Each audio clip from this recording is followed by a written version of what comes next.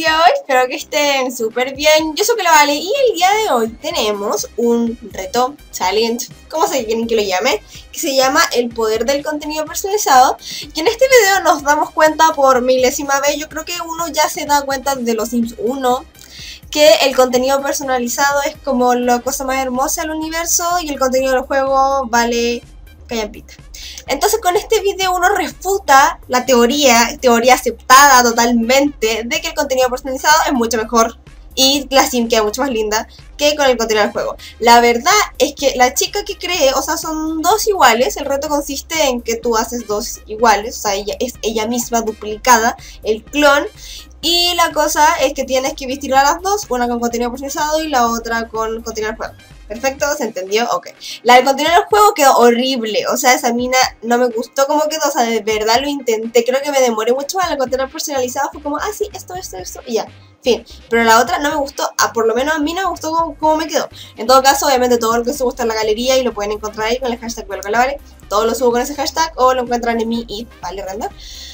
Y no me gustó cómo quedó. Pero el contenido procesado obviamente quedó súper linda, hermosa, mamacita, mami, mami, mami. Quedó bellísima, bellísima, bellísima. Y bueno, si se animan a hacer este reto, háganlo en sus canales eh, o háganlo ustedes ahí en el juego y se van a dar cuenta de que obviamente el contenido procesado es más lindo. Si no, uno no descargaría contenido procesado, o sea hay que tener dos dedos de frente para poder entenderlo. Y bueno, en verdad espero que les esté gustando este video. Este video lo hice en cámara rápida, así que a ustedes no les gustan mucho estos videos, pero ya hacía falta hacía falta uno de estos videos a, algunas personas que no odian escucharme hablar.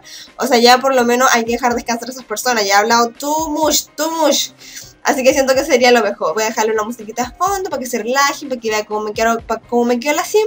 Las dos las intenté hacer de estilos similares para que para que más o menos se viera una idea entre las dos. O sea, de ropa la intenté vestir como con polera, pantalón y como que más o menos para que se viera una diferencia. Y nada, espero que les guste mucho, les hice con mucho cariño. Y nada, no olviden que subo videos todos los días, así que nos vemos mañana. ¡Chao!